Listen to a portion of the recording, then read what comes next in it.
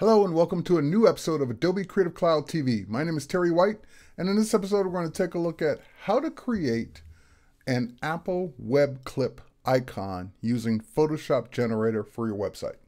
So, what's a web clip icon or what's an Apple Touch icon? Well, in Safari on iOS devices, whether it's an iPad, iPhone, or iPod Touch, when someone goes to your site and they actually decide to bookmark it, there's an extra option in Safari that lets them add it to their home screen so that they can basically have a one tap like an like an application to get right back to your site, get right back to whatever page they were looking at. Here, let me show you what it looks like. I'm gonna go ahead and bring up the iPhone here. And when we look at the iPhone, as a matter of fact, we have two web clips, which are the last two icons. This one right here for best app site, and this one right here for uh, cost to drive. Those are two websites that I bookmarked to my iPhone. Um, and of course, it just gave me a generic, uh, just kind of like a picture of what the web page looks like. Which, of course, the text is so small you can't read it. It's almost like a waste of time doing that. But you notice on the left of that, there's an actual application called Apartment Guide that has the big AG logo on it. And that's an actual application with an icon that's easy to identify. Of course, it launches that application, but you can give your web clips or your websites that same kind of icon so that people not only see something bigger and nicer, but that it's it's customized the way you want it to be. And uh, it's very easy to do this. As a matter of fact, you have to make either three or four sizes, and we're going to let Photoshop Generator do all the work for us. So here's how it works. Let's go ahead and head back to Photoshop. And in Photoshop, I've got a uh, Photoshop document here, and it's set up as a square. It's a square document. And of course, the icon needs to be a square anyway. So all you'd have to do is just go into Photoshop, make a new document, change it to pixels, and uh, once you change it to pixels, your size has to be the same size, you know, height and width, uh, but it has to be 152 or bigger. So it could be a thousand by a thousand. It could be whatever you want it to be, but just bigger than 152 or larger. Now that also means you can take a photograph and crop it to a square. As long as it's a square and as long as it's 152 or larger, you're good to go. Now, once you've created that document and laid it out like I have, I've used layers that make up this uh, document that I want to use as my icon for bestappsite.com. And uh, all I have to do now is two things. One, Generator is off by default in Photoshop for the entire program. So you need to go into your Photoshop preferences. There's a category called plugins in the preferences and you'll see generator and you just check the box. Once you check the box, generator and cl click OK, generator is running in Photoshop from that point on as a plugin. The next thing you need to do is even though it's running in Photoshop, it's not running for your individual documents until you en enable it. So the way you enable it is you go up to your file menu, you'll see if generator's running, you'll see a generate option and you'll see an image assets um, uh, option, which is unchecked by default. You're gonna go ahead and just highlight it and, and click so that it is checked. So that point, from this point on, it, Photoshop will generate image assets from this Photoshop document. So you have to do this on a document by document basis because it's off because not every document you're going to ever work on is going to need to generate assets. So we turn it on and have Photoshop monitor the documents that we want it to monitor. Now that Photoshop is monitoring this document, let's go out and look at it in the operating system where I saved it. So I'm just going to right click and say reveal in Finder. That'll show it to me. And as you can see, there's no other folder associated with that particular uh, Photoshop file. It's just a Photoshop file sitting in my hard drive in a folder. And I can now go in and rename it uh, or rename layers in Photoshop to have it generate assets. So here's how it works. These are all different layers. And of course, I could generate assets for each layer individually, but all of these layers make up the look of this. So there's the .com, for example, layer. There's the best app site layer. Uh, there's the Chrome around the uh, shape of the iPhone and the Chrome around the shape of the iPad. Those all make up this entire document. So I put all the layers in a group or folder called Best App Site Icon. Now I'm going to change the name of that group because it makes up the whole thing to what I want Generator to make for me. So I want generator to make a, the, the highest size icon I need is 152 by 152. So I'm going to say make it 152 by 152 space Apple dash touch dash icon. Here's the important part dot PNG. They have to be PNG files. And I kind of like the higher quality ones, so I want PNG 24 instead of PNG 8.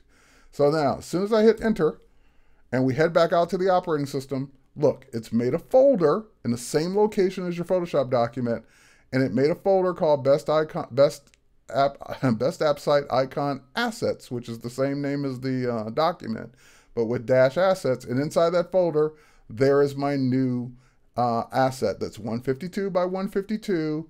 That is my first icon. Now, the next ones, the next three, have to be different sizes, but they also have to have different names because, of course, they can't all be called Apple Touch icon.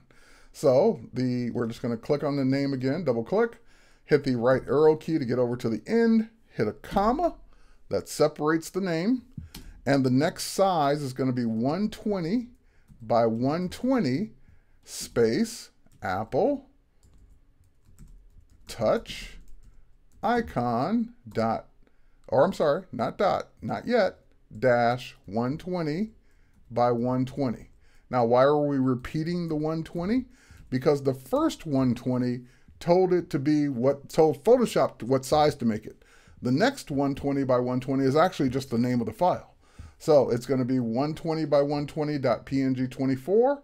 And if I hit enter now, we head back out to the operating system, I'll have the two icons. I have the first one that's 152 by 152, and the next one that's smaller, 120 by 120. So there they are, bigger and smaller. So now we can, now that we know how it works, we can just go ahead and make the other two. So the other two are going to be uh, comma, space, uh, 76 by 76, Apple, dash touch, dash icon, make sure you spell it right, uh, dash 76 by 76 dot png 24 comma space uh, and last but not least 60 by 60 uh, apple touch icon dash 60 by 60 dot png 24 enter so now it's basically going to make all four icons for me the 152 by 152, the 120, the 76, and the 60. And if I look at these, 152, 120, 76, 60. So those are the four, or really the 60 by 60 is the older size, but those are the three or four sizes that Apple requires or looks for when you go to bookmark uh, a new site in iOS 7 or higher on your phone. Now, why use Generator? Why not just use Save for Web? and make them you know make them and be done with it.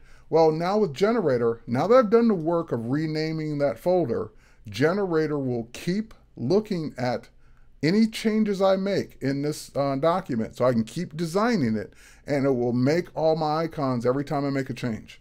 So for example, let's say I grab the, um, the blue for the phone and I want a different color someday. So I have a purple color selected in my swatches here. I'm just going to hit Alt delete or Option uh, delete to make that or fill that layer with purple. That was it. Photoshop has now generated all new icons for me. There's the first purple one, second purple one, third purple one, fourth purple one.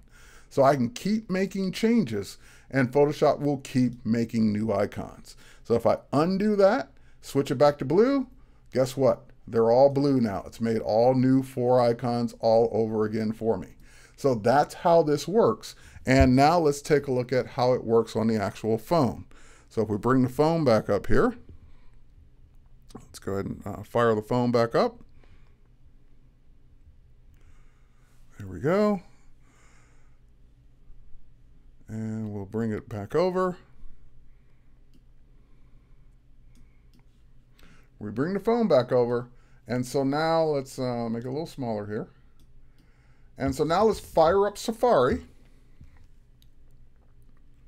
And we're on the bestappsite.com website. And so now on this website, at the very bottom, I'm going to tap the share icon.